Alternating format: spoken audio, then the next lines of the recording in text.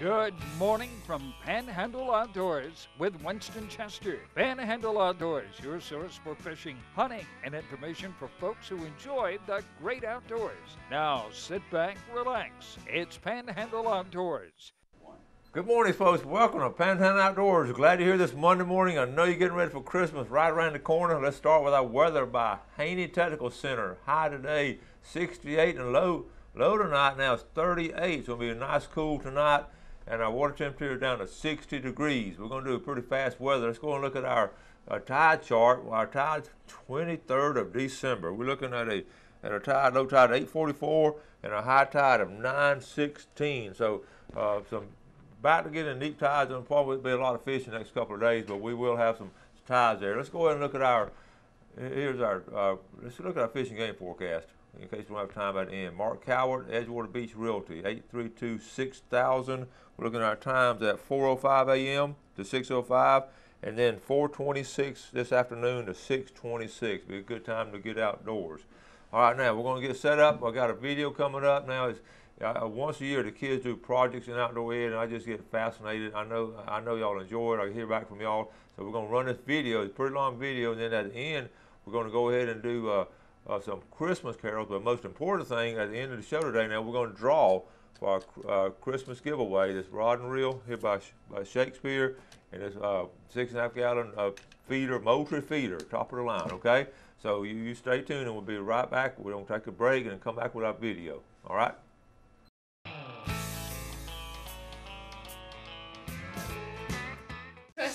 Okay, folks, I'm in my first period class. Today is a project day, and we picked out a couple of projects out of each class. This, this is class is my, like I say, first period, and they're hard to get awake, but most of them are awake now. So uh, one of the, uh, y'all awake back here? Oh. Okay. One of the things we're going to do, uh, just pick out projects. Our first project up here, Caleb, go ahead and tell us uh, what you've been doing. What do you have?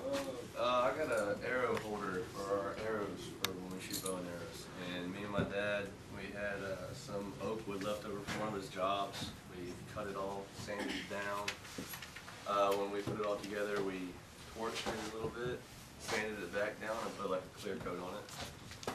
Now, what made you think about that idea? Uh, your cardboard box full of arrows. We've been taking arrows in a cardboard box. So you drill the holes in it, okay, and it's, it's pretty heavy. I was picking yeah. it up. Okay, now go ahead and uh, put the arrows in and show folks what we're talking about.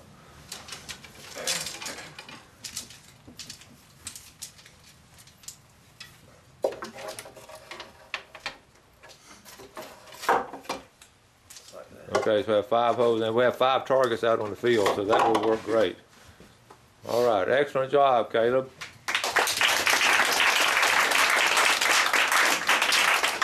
Okay, our, our next one is Tiffany Bass. Okay, Tiffany, tell us what you've done.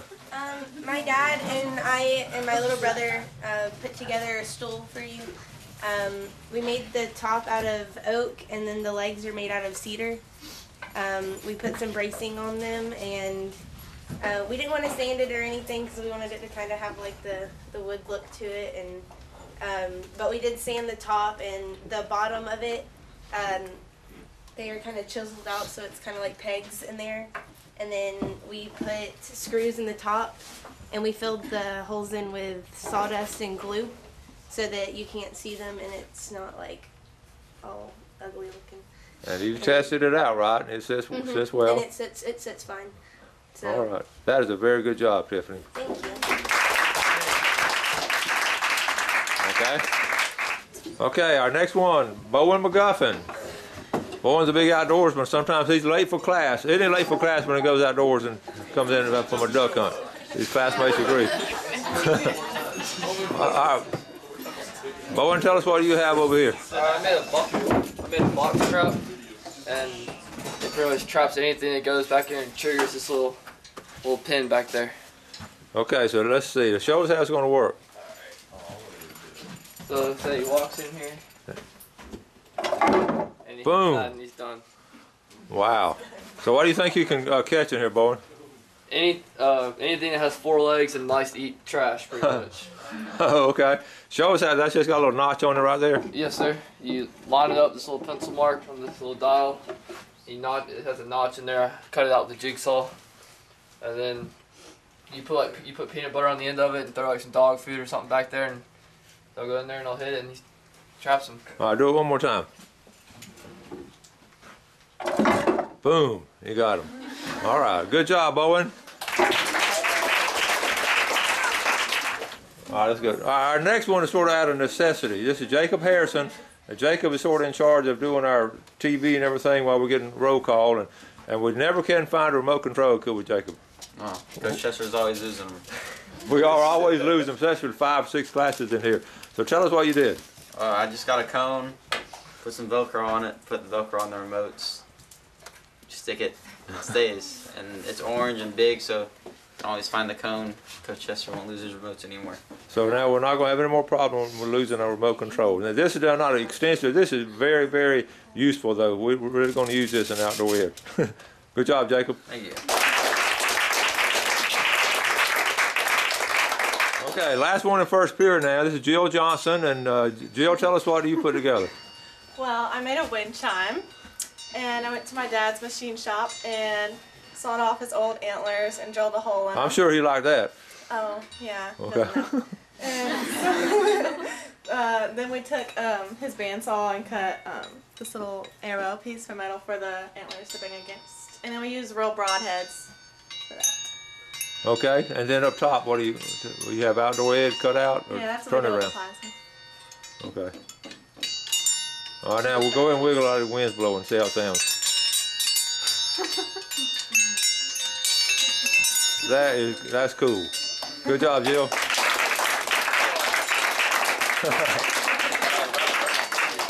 okay, folks, we're in my second period class, and we're going to pick out some of the better ones in the second period. This is really, really nice class. Okay, and Hunter Goodrow is the first one we're going to have up. Hunter, so tell us what you have, buddy. I made a wood duck nesting box. And what I did was I got a 1 by 10 12 foot piece of wood and I cut it down in different lengths. And then I pretty much just put it together. And I made a door to clean it out by cutting this and I nailed, or I screwed in two screws to act as a hinge. That's Okay. Okay. And it's for wood ducks to nest in, like at Deer Point Lake or wherever you want to put it. All right, that's very good job. Yeah. Very good job. Uh, Hunter was showing the class also. Now he got he, he got the plans off the FWC website. Hunter, show the show the ins- what what you did here on the inside. I left notches so that when the ducks are ready to leave, they can climb up out. That's cool. All right, very good. Okay, our next presenter, I have.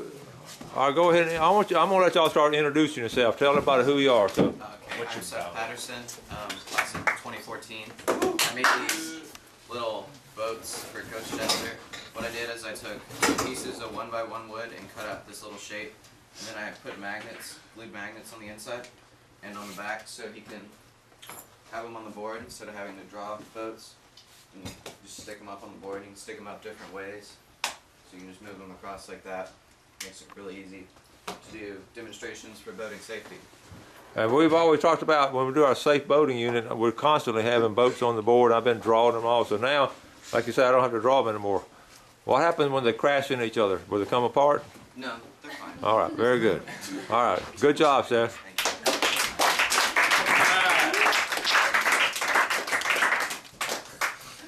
you. Our next presenter, this is uh, Michael Trubia. Michael, there's something unique here. Uh, Michael, tell us what you have. This rope mat. Um, just take some rope and uh, it's about 200 foot of rope, and you um, make a template with nails in it and stuff. You just keep on weaving it in and out of the nails, and uh, you uh, get it really tight like that. Start by a corner, and that's how you get a bunch of the weaves. You um, tighten it. That's how you get like five weaves in it. So. How long did it take you to do that, Michael? It took a couple of days on and off, just because, I mean, it's pretty intricate, and if you mess up, you have to restart the whole thing. So that wasn't fun. But, So, did you mess up any? yeah. and Yeah, the, you have to take apart like the whole thing. Oh man. Yeah. So you learned something from doing that? You don't know how to do it now? Yeah. My Ve- dad's friend helped me with it, so. Very good. Good job, Michael. Okay, next, Reagan Hamrick. Reagan, show us what you have. Um, I made a lighthouse out of flowering pots that you just turn upside down and you stack them. And I painted them and then I got this light and my dad and I drilled holes into the flowering pots um, and put the light at the top. And then I've got a fishing pole here and have outdoor ed class of 2014. And the light works. So, Very good. Excellent job. All right, folks, I'm out here now with my third period class. This is, okay, this is a very good class. Okay, they're always happy and smiling. And uh, the project, well, first one we're going to do third period, this is Shannon Hicks. And Shannon, I want you to tell the folks about your project and what we have here. Okay, so this is a sawhorse, and its purpose is to like set sheets of plywood on, so you could work, have like a station, or you could use it as a table if you really want to. And it can hold up to 300 sheets of plywood without breaking. So- Wow.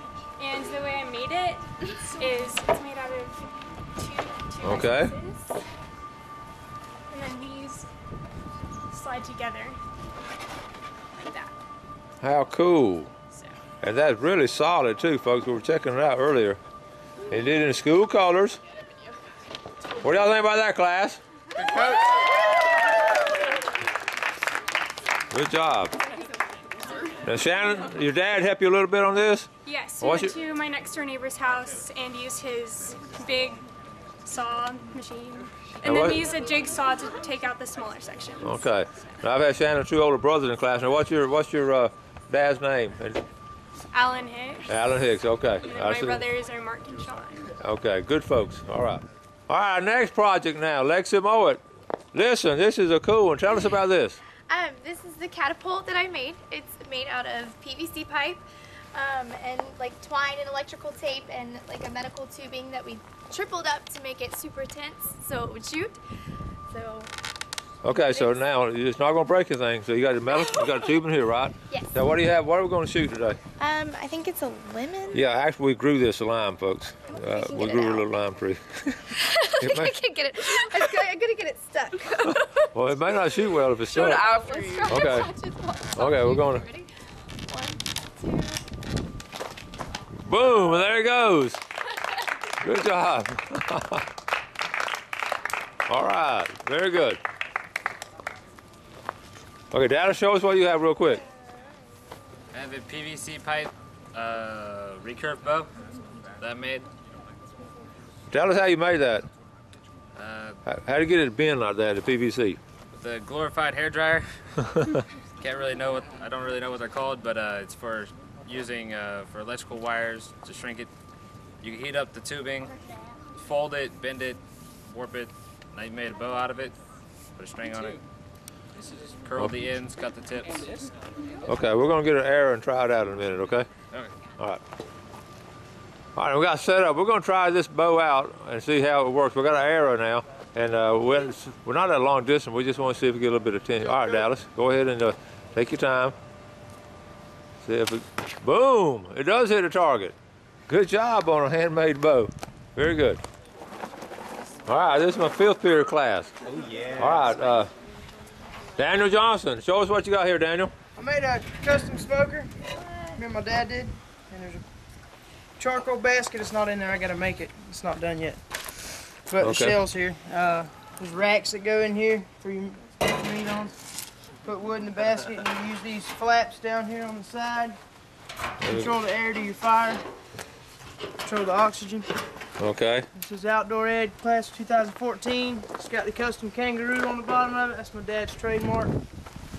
And it's got these light handles. You buy them at place in Dothan. There's another. This right here, your thermometer goes in here. To tell how hot your fire is. And here's your stack. You can put this can up and keep the rainwater from getting in it. So y'all made that, huh? Yes, sir. That's a good job there, Daniel. Got handles on the side of it. A handle to carry it. What y'all think about that class? And these stickers will stay on here Those stickers will get up to 600 degrees without m- melting off. Oh, they will? Yeah. 600 degrees. Me and my dad tested it out to see how hot we could get them. Well, that's cool, Daniel. Good job there, buddy. Okay, now we're up here with Sonny Curdy. Sonny, this is really good. I want you to tell us what you did here. Um, this is like a deer scene or a scene in the woods. This is the feeder, the shooting house. Okay, dear. Now what we got to do, folks, this is, uh, she actually made this. okay, let's start down here with the actual feeder. What, that feeder, what's it, what was it? Um, this is just a pill bottle, and I painted it. And this is um, a pole my dad got from work. It's like wire piping. All right, let's look at that pole right there. Now, You said your dad's an electrician? Yes, sir. So he actually, I mean, he got the, we got the actual cable. We got a little box down here. Check that out. That is very authentic. All right, what else? Uh, the shooting house is made out of popsicle sticks with camera duct tape around it. Popsicle sticks with uh, camo tape around it. Now what's inside? Uh, there's a little man. The the roof opens. The roof's open. Let's look inside. You actually have a hunter. First thing I noticed, he had his hunter safety orange on. Very, I'm very impressed. All right. Good job. Son, that's an excellent job there. Thank you. All right, next project we're going to show is this Trent Miller. Trent, tell us about this one. This is my coat hanger. This is a buck I killed in South Georgia a few years ago. This is a broomstick that I shoved into the skull and put glue on, and it's on a Christmas tree stand. You got the old Christmas tree stand, so that's pretty steady there. And how'd you get it secure down here? I put con- or, uh, some kind of sealant in it and super glue. That's a nice book. And also screwed in that screw. Yeah, screwed in down there. What part of Georgia get that book in? Sparta. Okay. Good job, Trent.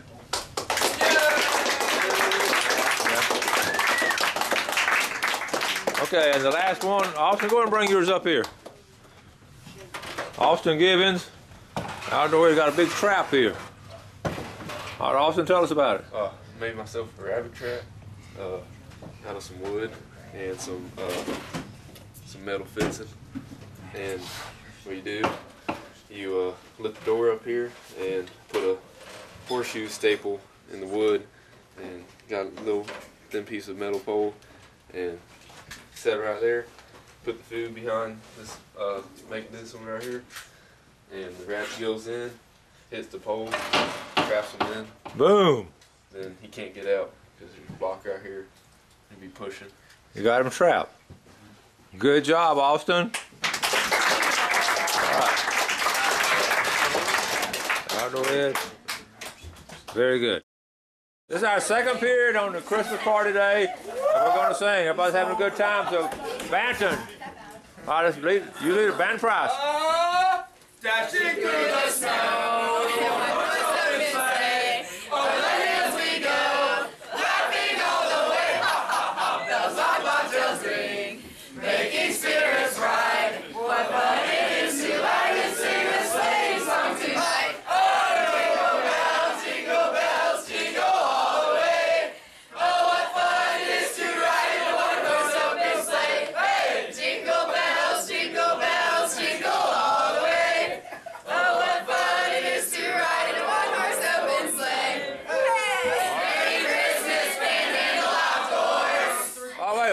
folks, this is my third period class. They're all excited right before we get out for Christmas, and they're happy. And they, and they have volunteered to sing a Christmas carol for you. I- okay, so uh, I appreciate you volunteering. All right, ready? One, two, three. You know Dasher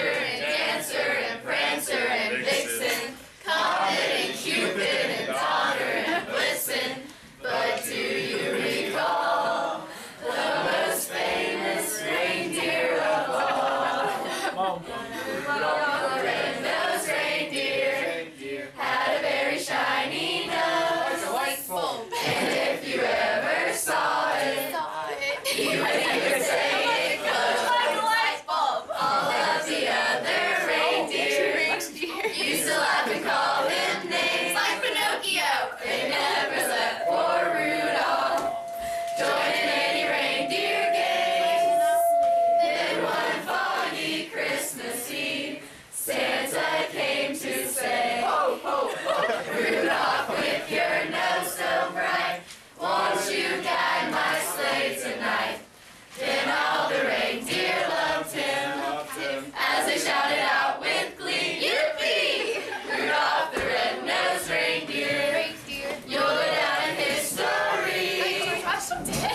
Folks, this is my fourth period class. It's always a happy class, always smiling and always glad to be here. And they're going to sing you a Christmas carol. We're going to start off Ty. Ty's the most Santa Claus looking person in here. So he's going to start it off for us. Okay, Ty? One, two, one, two, three, four. Better watch out. You better not cry.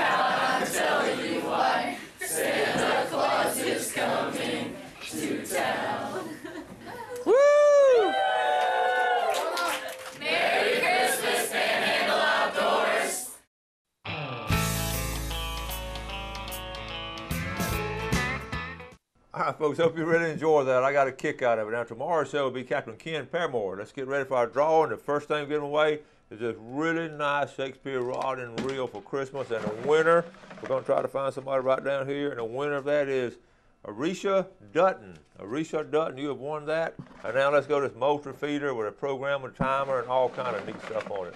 And the winner of that is going to be uh, I, I dropped it. Let's go back right here. This is uh, Sheila Wyndham, Panama City. That's a winner, folks. You have a great day. Do something good for somebody. God bless. Thanks for joining us for Panhandle Outdoors with Winston Chester. Panhandle Outdoors features hunting, fishing, and other activities and information to help you enjoy the great outdoors. Join us next time for Panhandle Outdoors.